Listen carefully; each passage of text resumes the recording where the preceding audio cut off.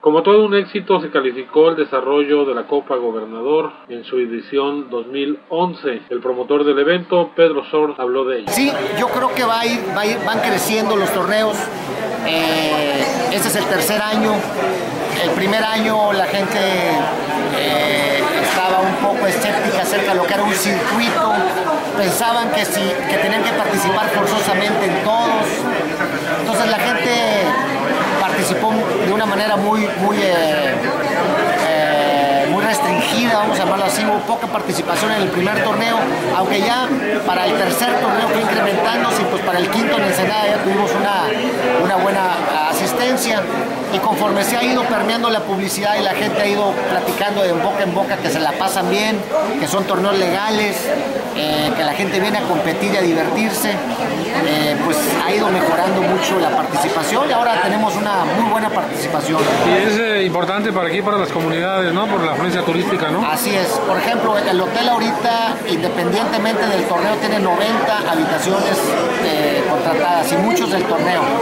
Y sale, gasta dinero en compras en la ciudad, van a restaurantes y el, gasto promedio eh, es alto.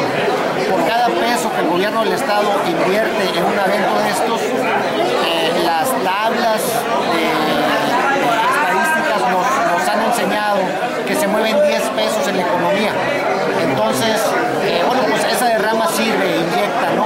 Porque la gente que ya vino una vez a pescar aquí, pues a lo mejor en el año regresa dos o tres veces más, ya sabe que la carretera está buena, que puede traer su embarcación, sabe dónde botar, sabe dónde comprar el hielo, ya se amarchantó con un guía, en fin, y eso es lo que es el caminito para que esa experiencia positiva que tuvieron en el destino la repitan dos o tres veces más.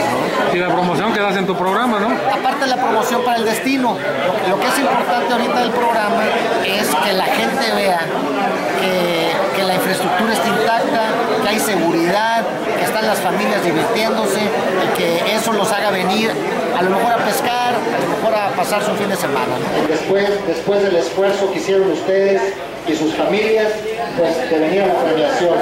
Un torneo limpio, la verdad es que con mucho gusto informo que eh, batimos récord de participación en los torneos de San Felipe en este tercer año, seguimos creciendo eh, gracias la participación de todos ustedes.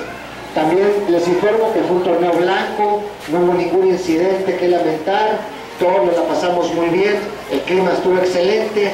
El secretario de Pesca, Carlos Fernández Ruiz, al destacar la buena organización del torneo Copa Gobernador 2011, dijo que habrán de realizarse obras de infraestructura para mejorar la pesca deportiva y la pesca ribereña. El, el gobierno del estado ha procurado en todo momento apoyar este tipo de actividades junto con la Secretaría de Turismo, junto con Conapesca, con Zagarpa, y es muy importante también que continuemos buscando las obras necesarias para que cada vez tengan mayores facilidades los que se dedican a la pesca deportiva y a la pesca ribereña.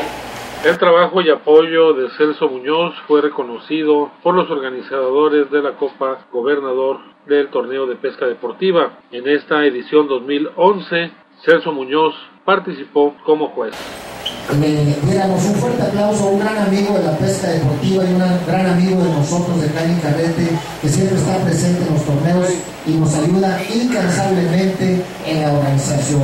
Un gran promotor turístico y quién mejor que tú para entregarle su reconocimiento a nuestro amigo Celso Muñoz. ¿Dónde está Celso? La foto de rigor es un pequeño reconocimiento para un gran hombre, una gente Muchas gracias.